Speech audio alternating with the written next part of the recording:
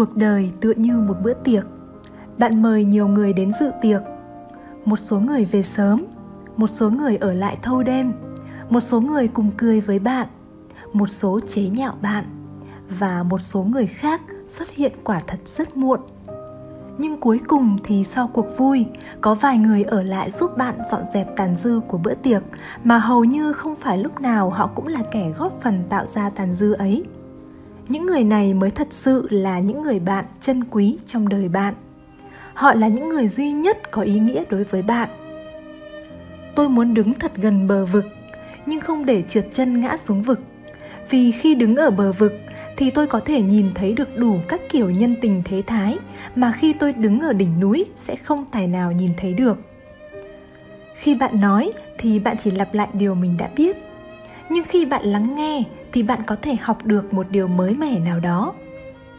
Khi bạn khai thông tâm trí và làm sạch các tư tưởng của bạn, thì bạn sẽ nhận ra rằng lòng tự tin, niềm hy vọng cùng sự lạc quan sẽ lấp đầy tâm trí bạn và bạn sẽ đạt đến thành công và hạnh phúc.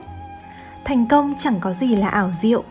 Thành công là kết quả tự nhiên của việc áp dụng những điều cơ bản một cách kiên định bình an nội tại bắt đầu xuất hiện vào khoảnh khắc mà bạn chọn cách không cho phép người khác hoặc sự thể khác kiểm soát cảm xúc của bạn. Bạn giàu có khi bạn hài lòng và hạnh phúc với những gì mình có. Đừng đánh giá mỗi ngày qua vụ mùa bạn thu hoạch được, mà qua những hạt giống bạn gieo trồng. Đối với tôi, cuộc đời là một tặng vật và thật diễm phúc khi được sống. Mỗi người nên nhận biết được, sống là một tặng vật dù cho sự thể có khốc liệt đến đâu đi nữa. Đừng bao giờ xấu hổ vì những vết sẹo mà cuộc đời đã hằn lên bạn. Vết sẹo đồng nghĩa với tổn thương đã qua và vết thương đã lành. Vết sẹo đồng nghĩa với việc bạn đã chiến thắng nỗi đau, bạn đã nhận ra bài học, bạn đã trở nên mạnh mẽ hơn và bạn đã tiến về phía trước.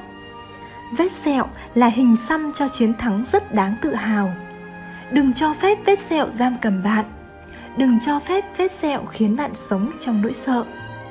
Bạn không thể làm cho vết sẹo biến mất khỏi cuộc đời mình, nhưng bạn có thể thay đổi cách bạn nhìn nhận vết sẹo ấy. Bạn có thể nhìn nhận vết sẹo như một dấu chỉ của sức mạnh, chứ không phải nỗi đau. Cuộc đời không phải là cuộc đua, mà thật sự là cuộc hành trình.